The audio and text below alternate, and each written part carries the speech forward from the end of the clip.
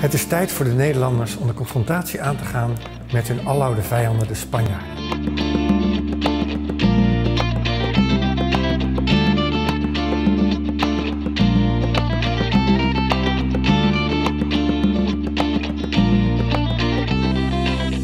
We bevinden ons hier in het Stadhuismuseum van Zierikzee, waar op dit moment een tentoonstelling gehouden wordt over Cristóbal de Mondragón, de Spaanse goede commandant van de 80-jarige oorlog. In mijn onderzoek probeer ik die Spanjaarden, die Spaanse vijand, een gezicht te geven. Wie waren nou die Spaanse militairen die hier in de Nederlanden hebben rondgelopen en zo mogelijk allemaal vreselijke dingen hebben gedaan? Voor mijn onderzoek heb ik gebruik gemaakt van zowel Spaanse kronieken als Nederlandse kronieken, maar ook nog allerlei andere bronnen, om te kijken hoe er over die Spaanse militairen werd geschreven. Zoals bijvoorbeeld over Cristóbal de Mondragón.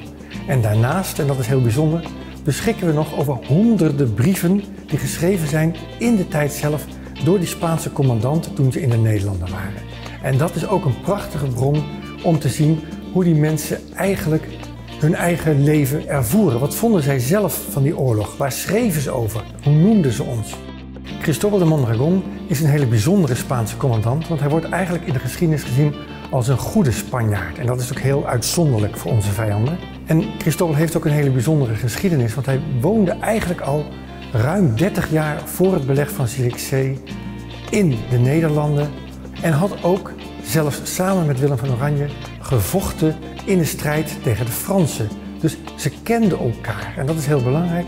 De vijanden van de 80-jarige oorlog waren ooit vrienden en kameraden geweest. er is een brief van Willem van Oranje waarin hij ook laat weten dat Mondragon eigenlijk een soort uitzondering is. Alle Spanjaarden zijn gemeen, maar Cristóbal de Mondragon is eerlijk en oprecht.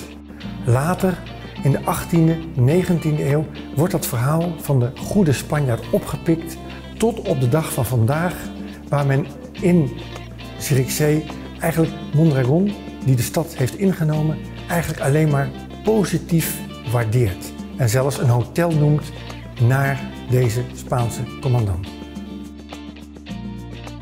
Deze tentoonstelling, Cristobal de Mondragon, de goede Spanjaard uit de opstand, is bijzonder voor Zierikzee omdat je in de hele stad relieken ziet die verwijzen naar die Mondragon. Wie was die man? Die belegeraar van Zierikzee uit 1575-76. Dat leggen we uit in de tentoonstelling hier. De expositie toont een aantal topstukken. Een portret wat we uit de familie hebben gekregen. Dat hier vanuit Spanje naartoe is gekomen. Dat we hebben moeten restaureren voor de tentoonstelling voordat we het hebben kunnen laten zien. Ander topstuk in de tentoonstelling is zijn persoonlijk harnas. Je zou tegenwoordig zeggen een kogelvrij vest. Dat uit de collectie van het Kunsthistorisch Museum in Wenen is gekomen. Moderne oorlogen lijken altijd verschrikkelijk chaotisch, met verschillende groepen die allemaal voor hun eigen belangen strijden. Zoals bijvoorbeeld bij de burgeroorlog in Syrië. Maar ons eigen verleden, daar hebben we de oorlogen een beetje netjes gemaakt en opgeruimd, zoals in de 80-jarige oorlog. En om dat te doen heeft men destijds de Spanjaarden tot de kwade, slechte vijand gemaakt.